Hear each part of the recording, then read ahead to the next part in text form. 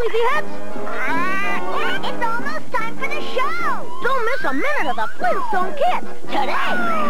What a great idea!